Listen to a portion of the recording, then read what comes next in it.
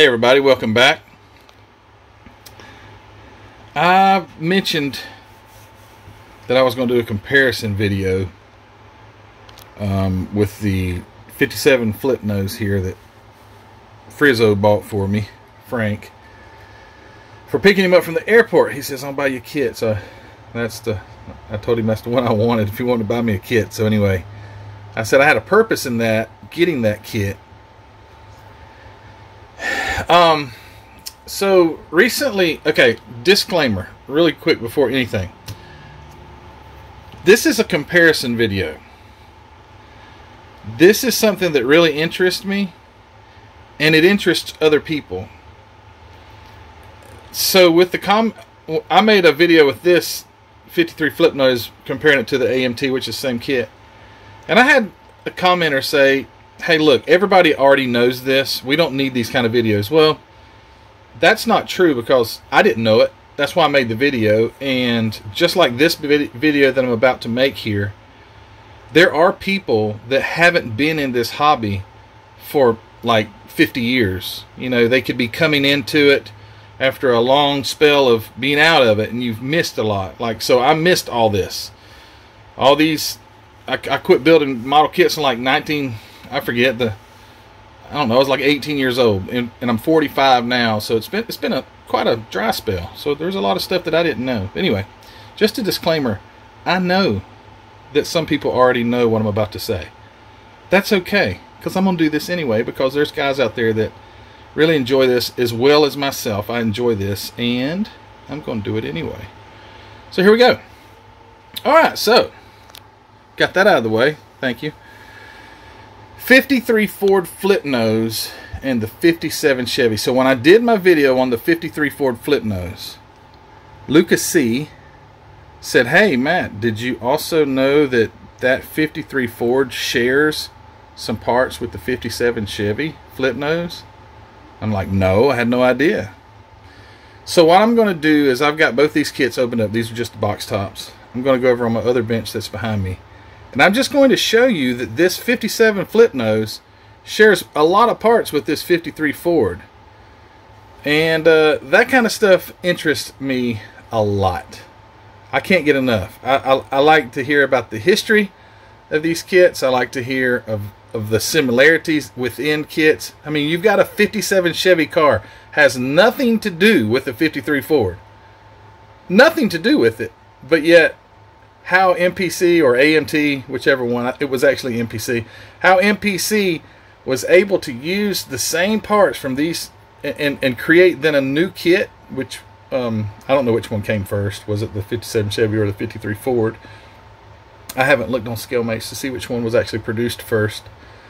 But I think this is cool. So let me turn the camera around and we'll go over to my other bench. And uh, it's actually the bench. If you watched my last video, it's where I cleaned my uh, model room where that CNC was at that's where it's going to be. So hold on just a second. Let me switch her around. Alright now that I've got a space here on this bench that I can actually utilize rather than just stack stuff on top of the CNC so the 57 this is a new kit. It's a re reissue from round two. So the, the plastic is white if you'll notice most of all the new models that are produced today are, are white plastic. That's because it's hard to paint a. Uh, I think like this truck here, this 5340, it was like teal green or blue or something like that. That you don't see that very often, but still, even with this, uh, the parts from the Ford are the darker brown ones. All right, so starting right here, just to show these parts, I've opened both of these kits. Yes, I went against all my good judgment and opened up this brand new kit, but it's new, so you can get another one. Um, so first off here is the seats and the differential. 57, 53.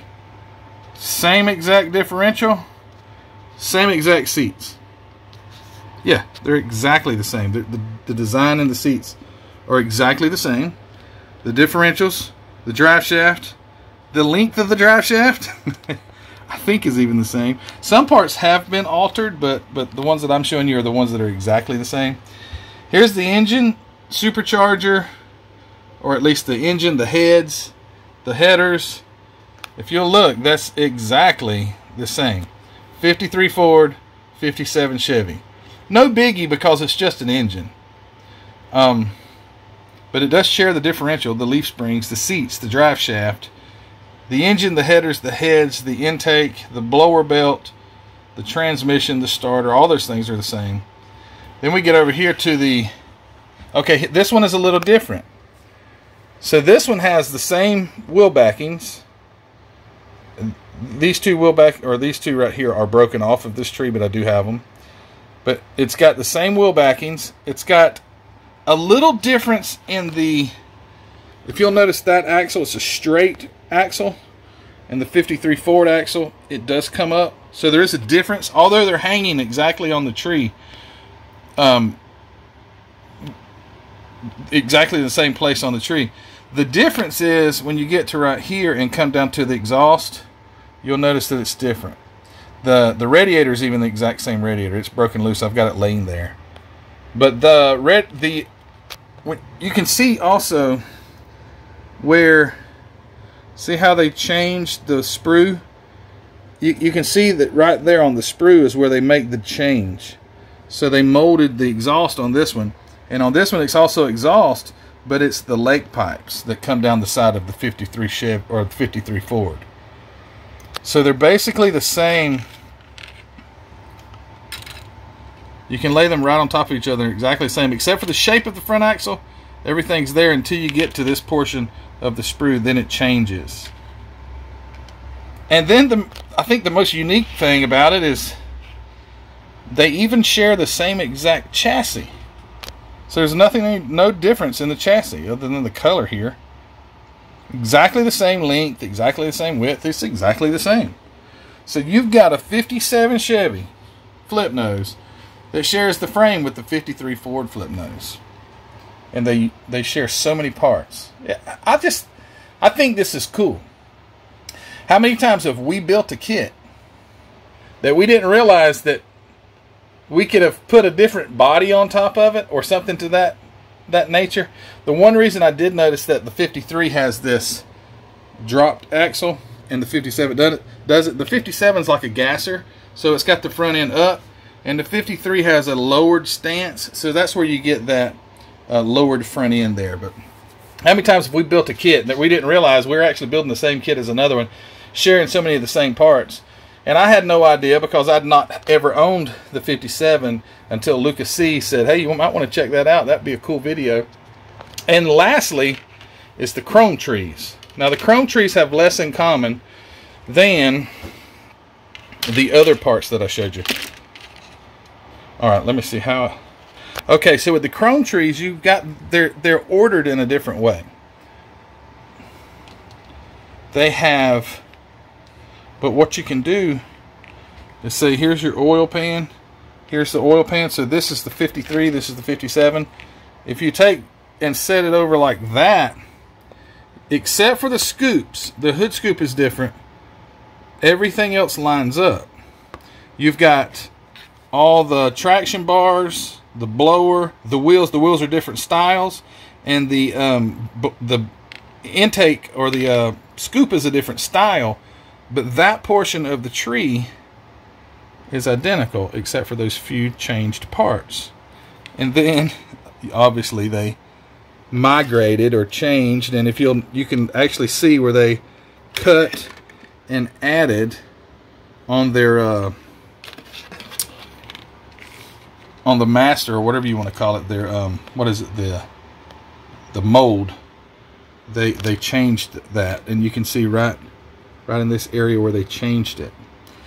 But so many parts now the grill the grill and all that obviously it's different. But they share so many parts and I'm like well that is that's really cool. And out of you know however many I've got, I'm, I'm thinking how many other cars are, that are up here share the same like chassis and things like that. I, I don't know. Um, makes me want to tear into more kits, and I know that probably makes some of you guys happy to bust into some of them. But it does make me want to do some more research and to find out about the similarities in kits. But I don't know if I'm going to. I did look. Let's see. There was something else that I I can't remember. Oh yeah, it was the uh, Corvette here. So I was thinking that the 57 flip nose Corvette. Actually, hold on, guys. Let me grab this. I know I don't want to get off topic. It was not on the Corvette, but I did look yesterday. So this this car here. This could be a different video, but oh well. So that 57 Corvette Gasser is actually the same kit as this 57 flip nose Vette. Um, I didn't realize, I did not realize that this was a flip nose until Lucas C pointed out. He says, no, it's got those fasteners right there. You see it now. This kit looks like they've done some real photo touch up because you can't tell that the front flips up. You do see a seam, but you don't really see it. It's not like that. So I thought because it's a flip nose and it's a Vette and it's a 57 and I'm thinking well it maybe it shares the maybe it shares the engine and the headers. And if you'll notice that it does have a similarity in how the headers drop out. But I opened up this AMT which it was already opened. Sorry I already had the plastic off. But I did open the bags inside and, and checked it out. And uh, it doesn't share anything so it, it's not even a, a distant cousin to the 57 Chevy flip nose or the uh, 5340. It doesn't really share anything. It's totally different. The frame is different. The engine is different. It's a small block. And if you'll notice the headers are the the shape of a small block. And I guess this is big this is a big block Chevy. But it doesn't share really anything. I couldn't find any parts that were the same. The differential was different, the chassis is different, everything about it's different. So thought maybe I'd found something else, but I failed. But anyway, this is this is all I wanted to do is just take a few minutes and uh, talk about this these two kids and how uh, one's a car and one's a truck. But when you take all their we take their body off, you can't tell the difference. But anyway, um, yeah, this is fun video. Thanks guys for watching and thanks for putting up with my my rambling. Uh, if you already knew this, um, leave me a comment. If you didn't know this about these two kits, hey, leave me a comment about that too, because I'm curious to know, am I wasting my time? Is this something that everyone in the modeling community knows about? Which I, I know the answer to that. That's no, because I didn't. But again, I'm sorry if this annoys you. You don't have to watch this video. Um, but I, I just found it very, very interesting. All right, well, I'm done, and I'm going to get started on a kit that's over on my bench, and it's going to be a lot of fun. I also have the, let me give you a quick little view, the 40 Ford for the Unified uh, Content Creators build. I'm working on that slowly, but surely. Got to be done by January 15th. Anyway, that's all I got, guys. Keep watching. Thanks for watching. If you hadn't subscribed already, go subscribe. Also, if you have not been to our Facebook group and joined, go over and do that. Link in the description to both of those. Also, go check out Hobby Nut Models. Uh, Mark over at Hobby Nut is who I got this 53 Ford from. I got a I got a bootlegger, not that one, but that one. I got uh, what else did I get? I think I got this from Mark. I got this. Uh, actually, got the truck here, the what 50, 1950 Ford or 53 Ford or something, 56 Ford, 55. I don't know what it is. Go over check out Mark's inventory at hobbynutmodels.com. He's got all kind of neat kits, and Steady gets the older stuff so we can go back and get those kits that we want so bad. I'm done, and uh, you guys take care, and we will see you on the next video. Thanks for watching. You guys take care. Bye.